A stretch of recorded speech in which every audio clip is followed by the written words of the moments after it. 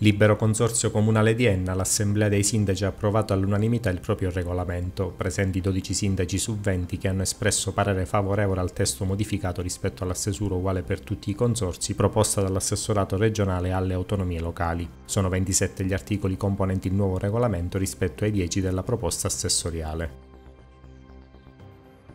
3 milioni di euro dal governo Musumeci per i comuni siciliani virtuosi in tema di rifiuti solidi urbani. A beneficiarne sono 167 comuni delle nove province dell'isola. In provincia di Enna i beneficiari sono i comuni di Assoro, Cerami, Leonforte, Sperlinca e Troina.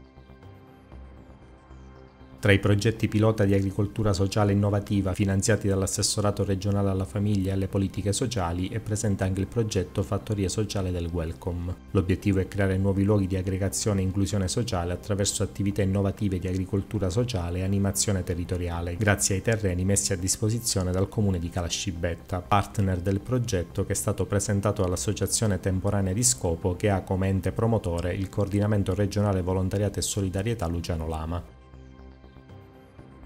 Palla a mano torna in campo l'Orlando Enna che domani pomeriggio giocherà a Fondi contro la capolista del girone. Andiamo senza troppe tensioni, ha comunicato il tecnico ennese Salvo Cardaci. Al di là delle nostre assenze, gli avversari hanno dimostrato di essere superiori a tutti con una batteria di stranieri di alto livello e sono i candidati numero uno al salto in Serie 1.